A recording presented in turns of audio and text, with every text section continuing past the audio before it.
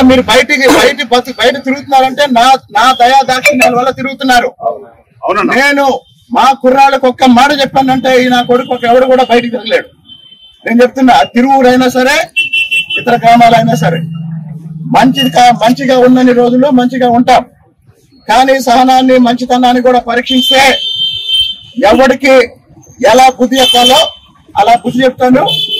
ఆ చిట్యాల సర్పంచ్ తొమ్మలపల్లి శ్రీనివాస్ గారికి చెప్తున్నా నా కొడక ఇంకొకసారి ఎక్కడైనా ఈ చుట్టుపక్కల కాడ గురించి కనపడ్డామంటే గుడ్డలు కూడా తీసుకొడతా విన్నారు కదా?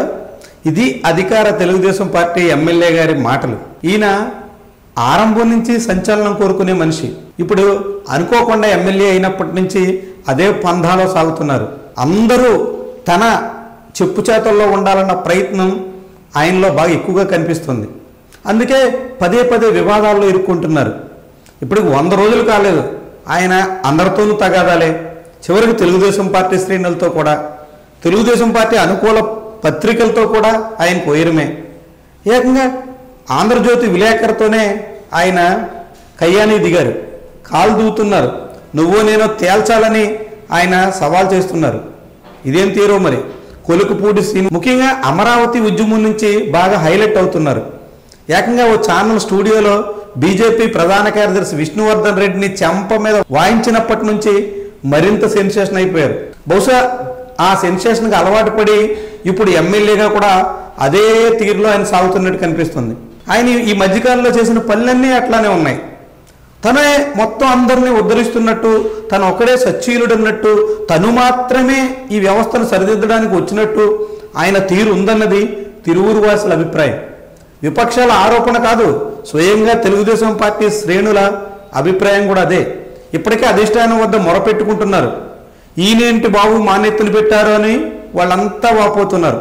వాస్తవానికి కొలుకుపూడి శ్రీనివాస్కి తిరువురికి సంబంధం లేదు. సీట్ల కేటాయింపులో స్థానికేతరుడైనప్పటికీ పార్టీ అధిష్టానం తిరువూరికి ఆయన పంపించింది. తిరువూరులో చాలా కాలంగా తెలుగుదేశం పార్టీ గెలవకపోవడంతో కొలుకుపూడి శ్రీనివాసరావుతో ఒక ప్రయోగం చేసింది. తెలుగుదేశం పార్టీకి కూటమికి రాష్ట్ర వ్యాప్తంగా వీచిన సానుకూల పవనాల నేపథ్యంలో ఆయన సులువుగా గట్టెక్కేశారు. మాజీ ఎమ్మెల్యే వైఎస్ఆర్సీపీలో చేరిన స్వామిదాస్ని ఓడించారు. అంతవరకు బాగానే ఉంది. కానీ ఎమ్మెల్యేగా గెలిచిన తర్వాత ఆయన తన హోదాకు తగ్గట్టుగా వ్యవహరించడం లేదన్నది తిరువురు వాసుల అభిప్రాయం. మరి ఆ ఎమ్మెల్యే తీరు మార్చుకుంటారా? ఇదే దూకుడుతో కొనసాగి అందరితోనూ కయ్యం పెట్టుకుంటారా? అన్నది ఇప్పుడు ప్రశ్న. తిరువురులో భారీగా మెటల్స్ ఇతర క్వారీల నిర్వహణ సాగుతుంటుంది. ఆ క్వారీ యజమానులంతా తన చుట్టూ తిరగాలి తను చెప్పిందే వినాలి అన్నది ఇప్పుడు కొలుకుపూడి శ్రీనివాసరావు మాట. కానీ అక్కడ తెలుగుదేశం పార్టీలో చాలా కాలంగా క్రియాశీలకంగా ఉండి పార్టీ బాధ్యతలు నిర్వహిస్తున్న వాళ్ళు ఎవ్వరు తన విధుల జోలికి తన జోలికి రాకుండా చూసుకోవాలని శ్రీనివాసరావు ఆశిస్తున్నారు. కానీ కొలుకుపూడి అనుకున్నట్టుగా అక్కడ తెలుగుదేశం పార్టీ లేదు. అక్కడ చాలామంది సీనియర్లు తలపండిన వాళ్ళు ఉన్నారు.